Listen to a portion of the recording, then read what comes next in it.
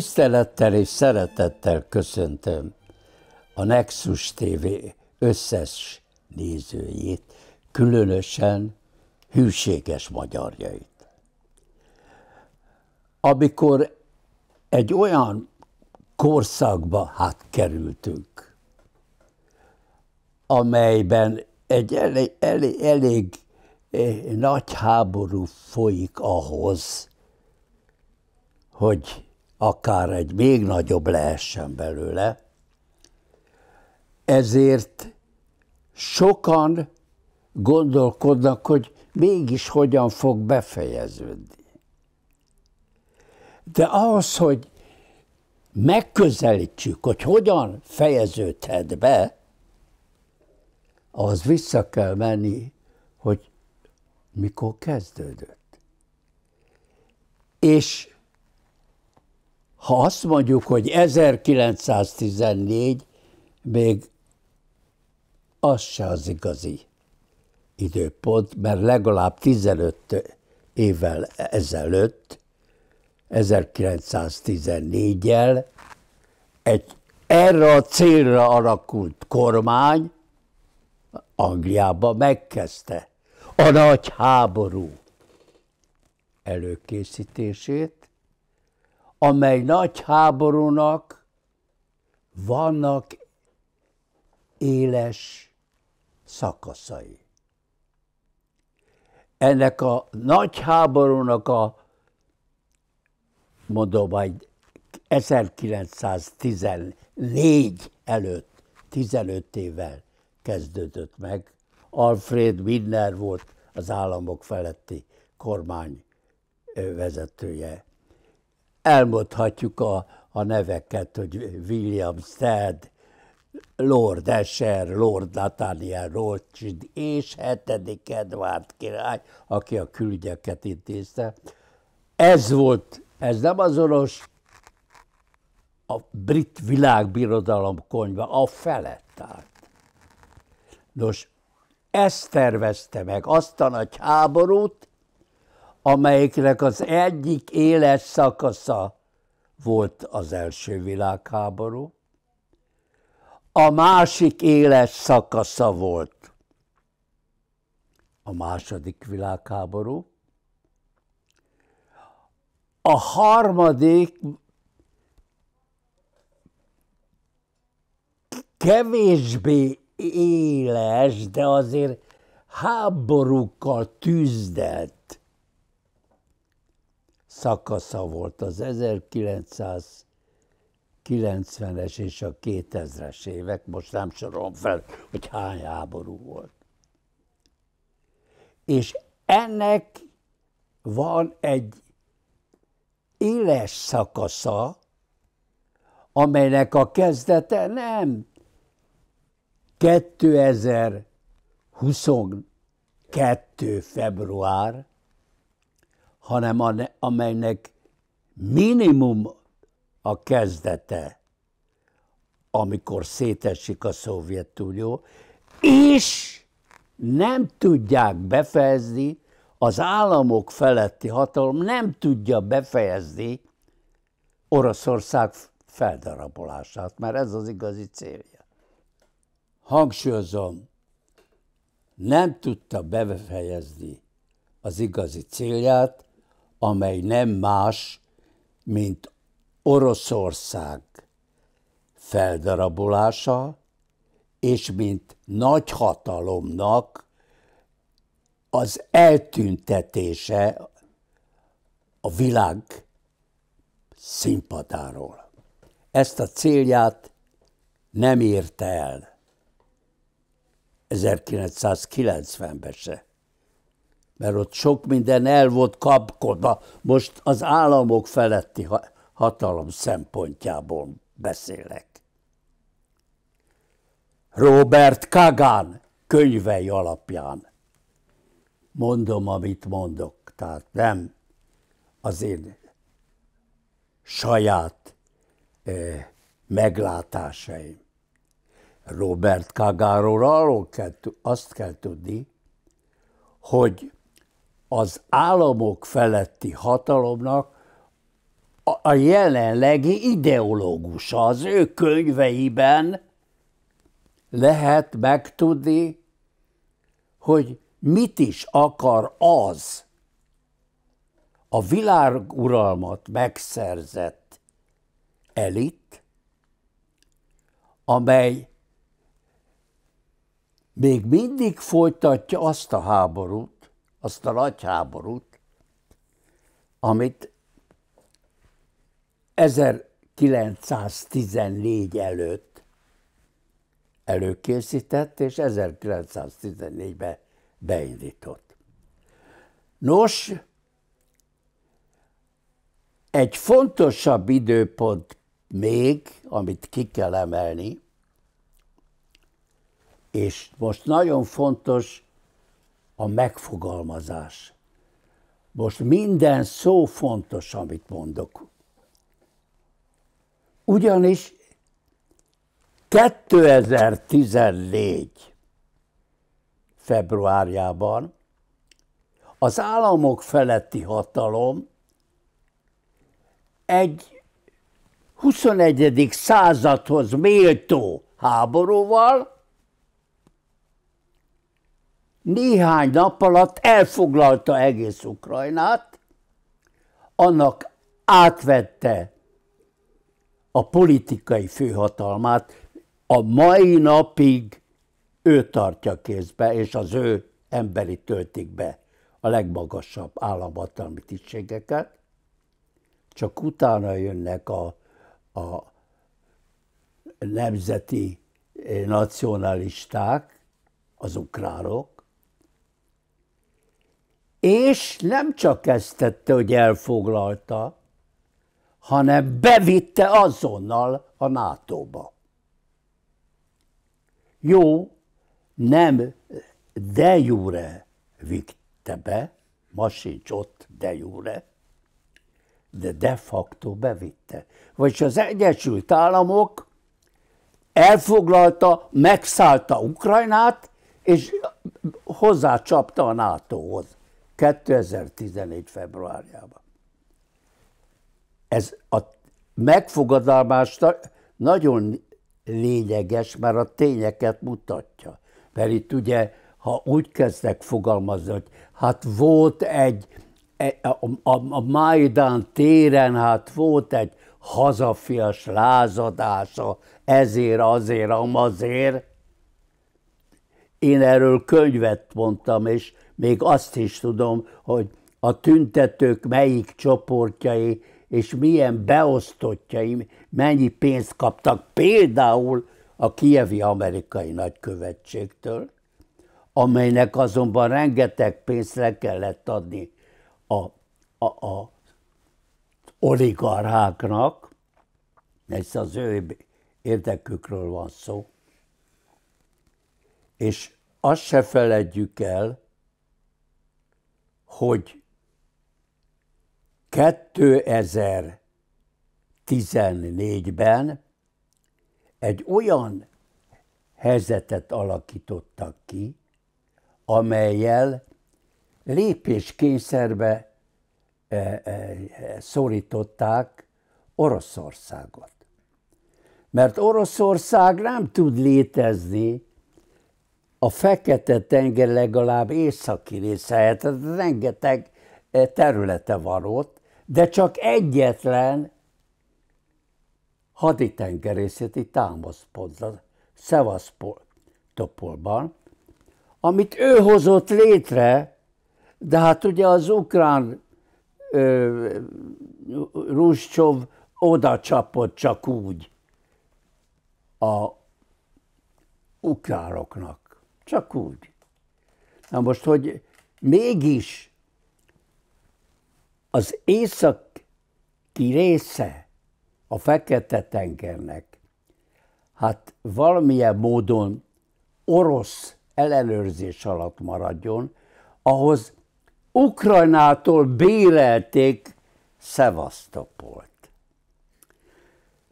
És ez a helyzet fel is maradhatott volna, na de az Egyesült Államok 21. századi posztmodern módszerrel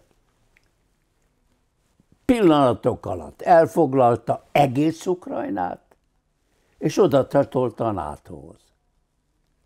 Hát erre Oroszország válasza az volt, hogy először is visszaszerzi Szevasztopolt, ráadásul Ukrajna, eh, tehát, eh, a, tehát Szevasztopol környékén, a Krím-félszigeten színoroszok laktak, és ugyanazt nem fogadta el akkor nyomban, hogy a két, ö, tehát a Dombászi tartomány. Az azonnal csatlakozzon Oroszországhoz, de azt nem tagadhatta meg, hogy ne támogassa az ő harcukat az autonómiáért, hogy Ukrajnán belül autonók lesznek, amit nem volt hajlandó elfogadni, az az amerikaiak által Ukrajnához felé tett kormányzat, amely, amely az orosz nyelv használatát betiltotta. Holott a lakosságnak egy igen jelentős része anyanyelvként beszélt oroszul, és egyáltalán a tudományos élet meg a nagyvárosok oroszul beszéltek. Tehát az első lépés ez volt. Miután azonban nem ment, tehát hallani se akart, pedig garanciát vállalt rá Párizs és, Pá- és Berlin is, hogy lesz autonómia, Kimszki tárgyalás, kettő is volt belőle, mégis egyik se járt sikerrel, és Oroszország nem tehetett mást, mint hogy legalább ezt a két orosz nyelvű tartományt, amely eredetileg is orosz nyelvű volt, és Oroszországhoz tartozott. És Lenin azért csatolta az elképzelt ukrán államhoz, ami végül is nem sikeredett, halva született volt. Hogy legyen proletáriutása, mert Dombász az egy rúrvidék. Ott nehéz ipar van. Ott rengeteg mérnök van. Rengeteg intelligens ember. E, erős tudományos fokozat. Szóval ez a Dombász, ez végül is akkor kerüljön vissza Oroszországhoz. Ennyi. Ezt a lépést tette meg. És azt is tudjuk, hogy Zelenszky már a, a háború utáni első napokban fegyverszünetet kért és kötött az, Naftali Bennett izraeli miniszterelnöktől tudjuk.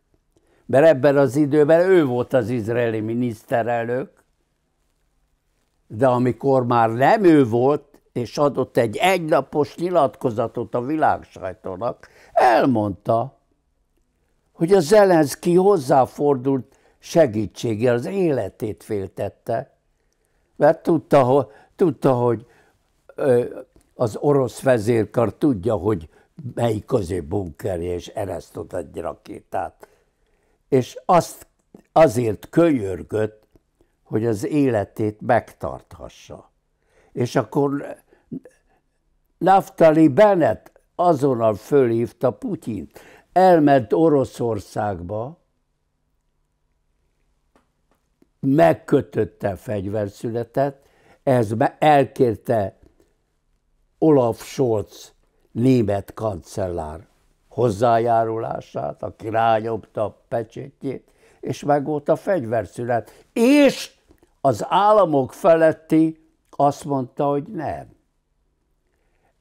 Ez a háború majd akkor ér véget, ha én akarom, addig tart, amit én akarom, és amíg el nem érem azt, amit én akarok. De ugyanakkor Putyin Naftali Bennettnek adott egy erős ígéretet arra, hogy nem akarta, nem akarja, és soha nem is fo- fogja akarni Zelenszkit megölni. De még azért annyit elmondok, hogy ez a Zelenszky kormány és Zelenszky elnök első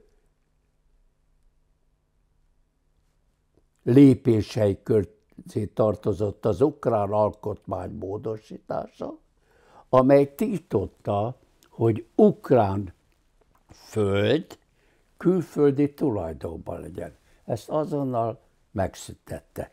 De maradjunk abba, hogy a nagy háború, beszéltem, 1914, 1914, beszéltem 1939, 1945, beszéltem 1990 és 91, és beszéltem 2014-ről. Vagyis folyik egy nagy háború, amelynek a folytatása lett, hogy Oroszország kénytelen volt, tehát belerántották háborúba, kénytelen volt az orosz népesség és a saját alapvető stratégiai érdekei szempontjából azt a lépést megtenni, amit megtett. És kész volt egy nagyon, mert ugyanis nem mondtam el a békeszerződés feltételejét, hát olyanokat szab, szabott az orosz kormány, hogy hát ugye ahhoz legyen fegyverszület, ahhoz Dmitro Jarost, aki a náci hát különböző fegyveres alakulatoknak, tehát ukronáci fegyveres alakulatoknak volt a főparancsnoka, hát azt menesszék, meg néhány más tábornokot is váltsanak le, meg bizonyos szobrokat tüntessenek el, meg utcanevek, hát ilyen feltételek. De ezt az államok feletti nem létező, nagyon is létező hatalmával lesöpört az asztalról. Annak dacára, hogy ezt egy hivatalban lévő izraeli miniszterelnök alkutta ki. Vagyis miféle háborúról van szó? Arról van szó, hogy folytatódik most ezzel a háborúval, ami most van folyamatban, folytatódik az a befejezetlen háború, mert a nagy háborúnak a célja elsősorban Németország, meg lényegben protektorátussal való tétele volt, mert ez történt meg, tehát a teljes függőség státuszába juttatása, de ott volt a másik nagyhatalom még 1914-ben, Oroszországnak is, mint világbirodalomnak a, a megszüntetése a lett feldarabolás. A jelenlegi háborúnak és a hosszú távú stratégiai célja Oroszország feldarabolása. És lehet, hogy ebben az éles szakaszban sem tudja az államok feletti hatalom ezt elérni. Tehát itt egy nagy háború van folyamatban, és ez a nagy háború nagyon libeg. Annak a szélén jár, hogy kiszélesedik. És egy világháború lesz belőle, sőt, még rosszabb is. Tehát ilyen szempontból kell kézbe venni Gary Docherty és Jim McGregor könyvét, aminek az a címe, hogy Hidden History, hát az államok feletti hatalom története, a Hidden History, és az alcíme pedig, hogy The Secret Origins of the First World War, hogy az első világháború titkos eredete. Na már most, aki kedvel és, és, és habozás nélkül mondja, hogy a drábik semmit nem bizonyít. Hát azért például vegyek kézbe le ezt a könyvet, ahol rengeteg konkrét bizonyíték, évek, sok-sok munkája, a leg, eh, eh, eh, hogy úgy mondjam, na, nagyobb archívumokból át fel van dolgozva, és e, ennek alapján minden szava dokumentálva van, és bizonyítva van. Miről beszélnek azok? Hogy nincs bizonyítva, hogy van egy államok feletti hatalom. Most, most nem beszéltem Carol Quigleyről, mert arról már többször beszéltem. De Carol Quigleyről nem beszéltem, de, de muszáj azért még meg, megemlíteni, hogy van egy nagyon tisztességes és tehetséges ember. Úgy hívják, hogy David Rothkopf. Na most David Rothkopf is írt egy könyvet, az a cím, Superclass. És az alcíme pedig az, hogy How the Rich Ruined Our World. Hogyan rombolták le világunkat a gazdagok. Na de ki volt ez a Rothko? David Rothko. Hát azért a David Rothko se volt akárki, mert hosszú éveken át dolgozott a Fehérházban, mint, mint munkatárs. Tehát nem akárhol, a Fehérházban. És utána hova ment dolgozni? A Kissinger alapítvány egyik vezetője volt évekig. És ő írta, ő írta ezt a könyvet, hogy Superclass. Na és miről szól ez a könyv? Hát arról, hogy kik is azok az államok felettiek, ő már nagyon konkrét, rengeteg dinasztiának a nevét konkrétan meg is nevezi, de, de több száz de, személy nevét is tudja, akik ehhez a superklasszhez tartoznak. De miről is szól ez a könyv? Arról, hogy mennyi vagyonuk van, ezzel hogyan tudják a politikai hatalmat felvásárolni, korumpálni, hogyan tudják a korrupció fegyverét alkalmazni, mert fölvásárolják a közhatalmat, és az lényegében magánhatalmi döntéseket hoz. Meg de le, le is azt is leírja, hogy hogyan élnek.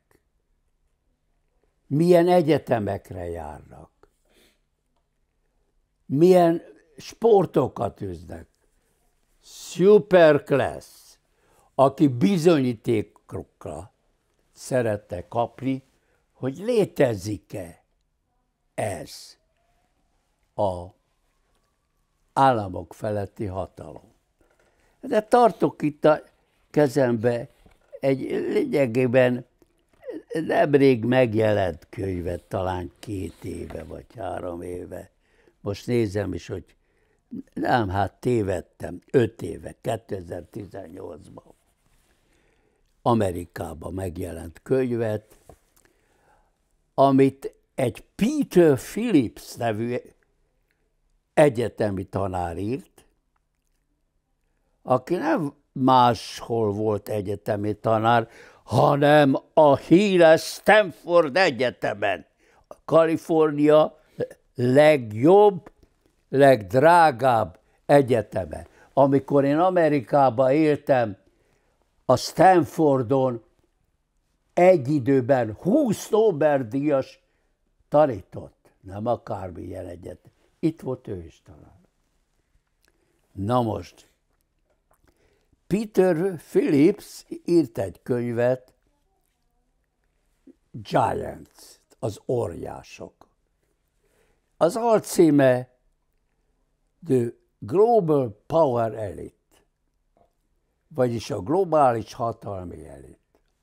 Ez az államok feletti hatalom. Na itt ő, mert ez volt a szakmája, leírja, hogy hogyan szerezték a vagyont, és mennyi vagyonuk van.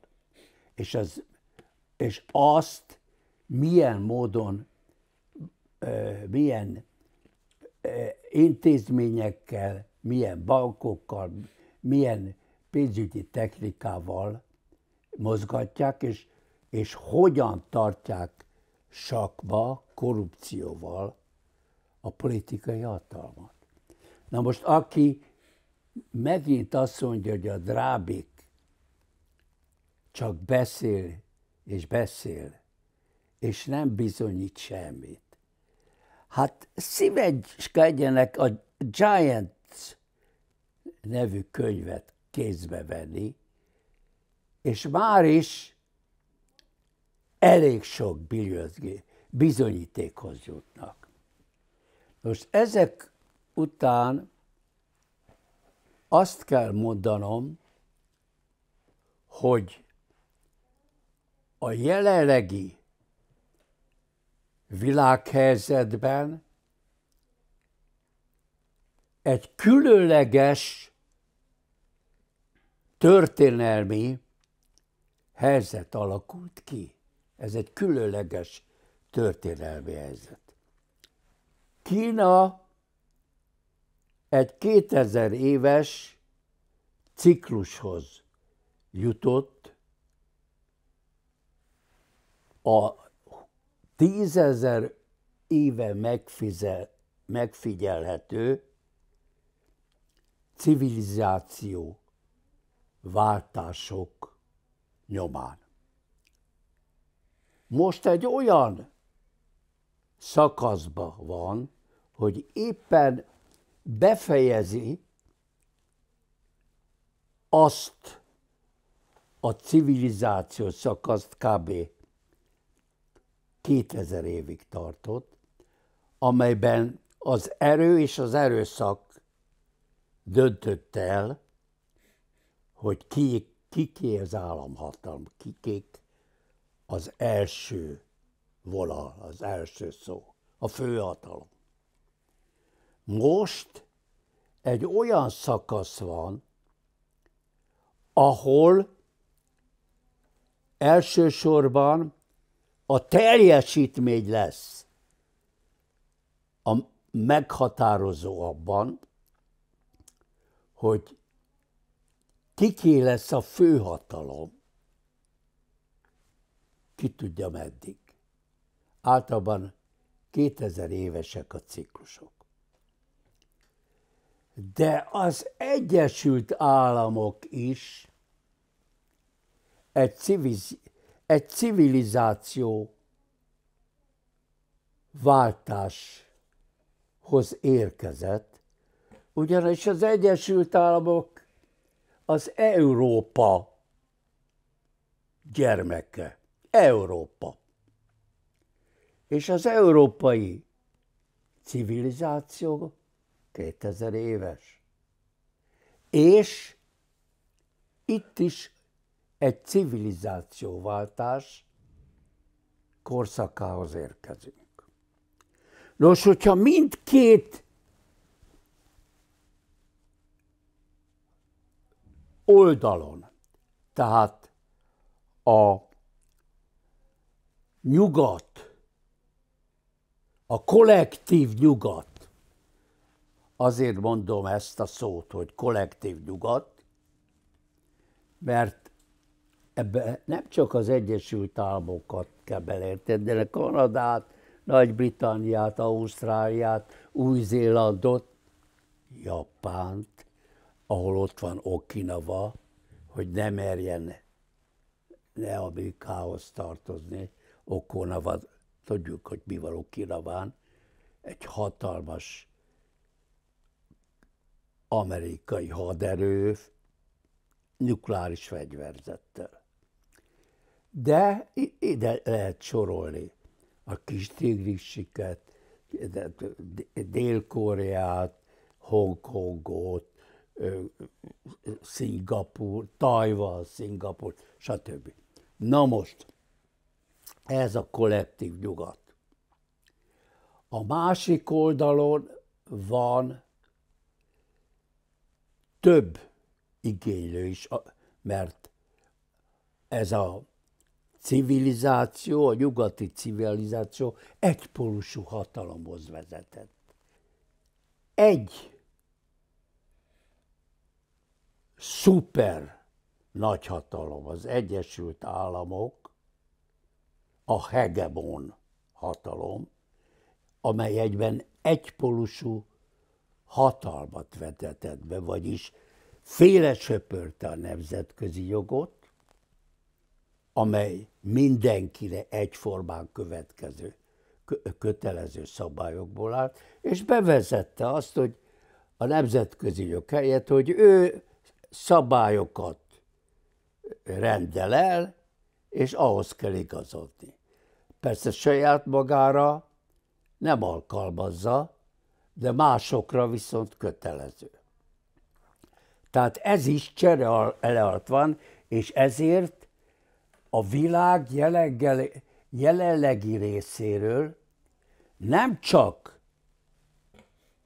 a kelet, de a, a globális dél is már jelentkezik, mint hát többpólusú hát hatalomgyakorló. Vagyis arról, arra van igény, hogy egy többpólusú világrend jön létre. De ehhez civilizációváltásra van szükség, mind a kelet legfőbb államában, Kínában, mind a nyugat hegemon államában, az Egyesült Államokban. Nézzük meg, hogy ez a két szuverén hatalom, amelyről tudjuk, hogy élesen rivalizál, és amelyről sokszor elmondtuk, már én is, hogy konfliktusban van. És hogy ez a konfliktus nagyon is kiéleződhet. És akár olyan világháború lehet, amely elvezetett a végső leszámoláshoz és a nukleáris fegyverek használatához. mert hiszen Ukrajna Oroszország mellé állt, és nem fogja megengedni Oroszország feldarabolását, amit szeretne a kollektív nyugat hegemon hatalma elérni. Tehát erről a konfliktusról elég sós szól. De arról nem volt szó, hogy miben hasonlít Kína és az Egyesült Államok. És kiderül, hogy mind a kettőnek hasonló konfliktusa van, amit azonban különböző módon kell megoldania. És ez erősíti a rivalizálást. Mert hogyha ezek a konfliktusok, tehát a belső konfliktusok megoldódnának, akkor nem lenne szükség a külső rivalizálásra, hanem ott egy nagyon tartós és az, az egész emberiség számára hasznos együttműködés jöhet el létre. Nos, mi a közös? Mert erről nem beszélünk. Hát először veszem az Egyesült Államokat. Az Egyesült Államok a demokrácia elvét tűzte ki, amelynek a központjában az egyéni szabadság van. Az egyén, mint szubjektum, minden jogot megkap, és az államnak, a közhatalomnak lehetőleg minél kevesebb köze legyen hozzá. Na de ebben a társadalomban is kapitalista gazdasági rendszer van. Ráadásul ez a kapitalista gazdasági rendszer elképesztően sikeres volt a 19. század második felében, egészen 1920-ig. És ez a siker azért volt, mert a rendkívül agresszív tőkéseket, kapitalistákat a demokratikus államhatalom meg tudta fékezni, és noha amikor megjelennek a nagyon gazdagok, akkor megjelenik a korrupció is. Mert a korrupcióval vásárolják meg a, a, a nagyon gazdagok az államhatalmat, az államhatalmak egy részét, és ezt az Egyesült Államokban ebben az időszakban sikerült leküzdeni, és egy egyensúlyi állapotot létet, létesíteni a közhatalom és a magánhatalom, a kapitalisták hatalmak között, akiknek már akkor óriási gazdaság állt a rendelkezésükre, óriási potenciális lehetőség a korrupcióra, de ugyanakkor Amerika soha nem virágzott jobban gazdaságilag, mint akkor, mert ugyanis ez a kapitalizmus szabadjára engedte azt, amit a szabadság hozni tud, a képességeket, a tehetséget, és az hozta a gazdagságot. Na most mi a helyzet most Amerikában? Amerikában most az a helyzet, hogy a közhatalom fokozatosan megvegyengült, mert a kapitalista gazdasági pénzügyi hatalom egyre erősödött, mert járadékos rendszerré alakított át. Ahol nem volt járadék, ott megcsinálta a monopóliumokat, és rátette a monopól járadékot. Akkor már volt. És, és így a nemzetközi pénzoligarchiának az egy százaléknak, a 99 százalékkal szemben, és annak az elitjének, a superclassnek sikerült az amerikai demokráciát, az amerikai közhatalmat felvásárolnia. Ma hogyan dönt egy szenátor vagy egy képviselő? Nem az szerint, hogy kiket képvisel, hanem az szerint, hogy ki fogja finanszírozni legközelebb a megválasztását. És ha X szuper klasszhez tartozó fölvállalja a finanszírozását, akkor az ő,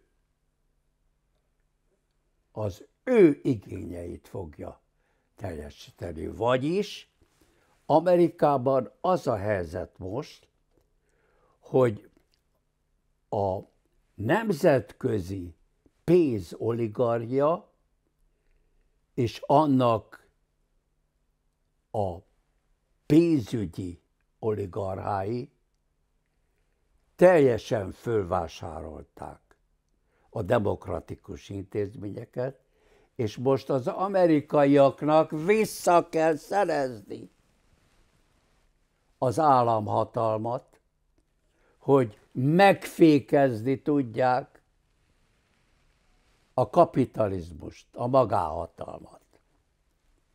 Mi a helyzet Kínában? Kínában az a helyzet, hogy hát eh, Mao idején, ezen már Deng Xiaoping eh, oldott sok mindent, lényegében ő, a, a, a szála, amikor ő átvette Kína irányítását, akkor fordult meg a menet. Szóval Mao Zedong idején nagyon kemény párt utasításokkal és párt ellenőrzéssel irányították Kína gazdaságát, és ez jól működött, mert jól kiépült a korrupciós rendszer is, és a, a, a, a kemény intézkedéseket foganatosító hát, döntő pozícióba lévő aparácsikok működtették a rendszert. Na most ez a rendszer, ez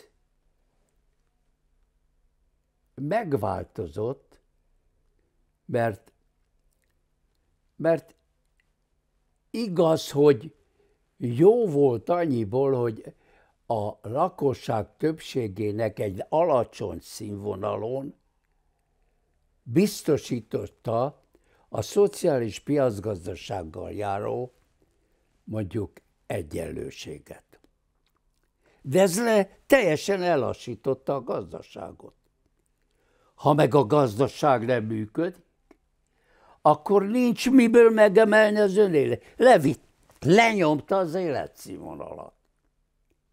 Tehát szükség lett erre, hogy a párt ellenőrzést fölazítsák ebből a szempontból, és megerősítsék a kapitalizmust, hogy az újból a maga, e, e, tehát e, sokoldalú képességével, hogy megújítja a gazdaságot, és ezért biztosította Kínának a gyors, a világ történelemben is szinte példanélkül álló gyors gazdasági növekedését. Tehát végeredményben az államnak a kapitalizmust kellett segítenie. Tehát fordítva, mint az Egyesült Államokban, mert ott a közhatalomnak kell megbírkoznia a magánhatalommal. Most Kínában az a kurzus zajlik, hogy fegyelmezetten, pártfegyelem szigorúan betartva Xi Jinpingnél, megtanuljuk, hogy, hogy kell, hogyan kell ösztönözni, hogy a kapitalizmus jól működjön, mert akkor megyünk előre, és akkor tudjuk növelni az életszínvonalat. Vagyis Amerikában, illetve Kínában az államnak a kapitalizmust, a, a, a, a magán eh, gazdaságot kell, vagy a magánhatalmat kell erősítenie, amely persze mihelyt erőre kap, beindítja a korrupciót, mert a korrupció az, a, a, az majdnem, hogy kiküszöbölhetetlen. Mert ha van egy igen gazdag réteg, és áll vele szemben az államhatalom, akkor ez az igen gazdag réteg gyakran, ez az Egyesült Államokra teljesen igaz, ez az igen gazdag réteg már semmit nem tud vásárolni, csak hatalmat. És a hatalmat kiktől vásárolja? Azoktól, akiket demokratikusan megválasztanak. Tehát Kínában is arról van szó, hogy a magánhatalom erősítésével helyre kell állítani az egyensúlyt, meg Kína megint gyorsan növekedjék, és tudják növelni az életszínvonalat. Vagyis mindkét országban helyre kell állítani az egyensúlyt, csak fordítva. Az egyikben a túlhatalomhoz jutott pénzoligariától kell elvenni a gazdasági hatalom egy részét, és visszaadni a közhatalomnak, a megválasztott kormánynak. Míg Kínában fordítva a közhatalomnak a központosított pártirányításnak kell megtanulnia azt, hogy hogyan kell a kapitalizmust erősítenie, felgyorsítania, és újra megteremtenie azt, hogy olyan gyorsan tudjon növekedni, mint ahogy korábban tudod, lehet, hogy ez nem sikerül neki, de a jelenlegi helyzeten változtatni kell. Ezt meg kell gyorsítani.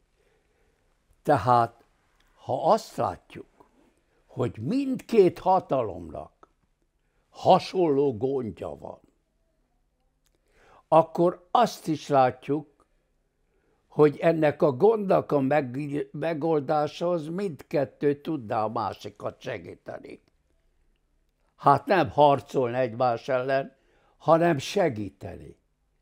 És ebből mindkét világhatalomnak a társadalma, az egész társadalma csak jót kapna. Mert ez elősegíteni hosszú távú világstratégia kiépítését az együttműködre, és ez hosszú távon és tartósan megnövelni azoknak az életszínvonalat, akik az értékeket előállítják. Mert hiszen ők alkotják a társadalom létszámban túljobbó részét. És az ő életszínvonaluk van szó. Amerikában ott tart, hogy nemzedékről nemzedékre kevesebbet keres az, aki úgy nemzedék. Hát ezt meg kell változtatni. Kína is ott tart, hogyha nem tanulja meg a pártirányítás, hogy, hogy hogyan kell kapitalistának lenni, akkor Kína nem fog tudni visszatérni ahhoz a dinamikus fejlődéshez, még ha nem is tudja elérni annak a teljes mértéket, de mégis felerősíteni, ami ott van, hát akkor felmerül a kérdés, nem arra lenne szükség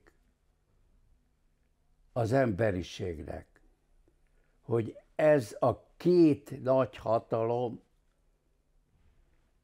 egymás segítse egymás gondjainak, egymás hasonló, csak nem megegyező, csak nem megegyező gondjainak a segítésében az egész emberiség számára lényegében jót hozva. És ezért valójában ejteni kellene az államok feletti hatalomnak azt a célját, hogy feldarabolja Oroszországot, kikapcsolja, mint világhatalmat, és fölveszi a küzdelmet Kína legyőzésére, gazdaságilag is, pénzügyileg is, adott esetben katonailag is, hogy ő továbbra is egyedül megtarthassa, mint államhatalom, államok feletti hatalom, a világhatalmat. Köszönöm szépen, hogy meghallgattak.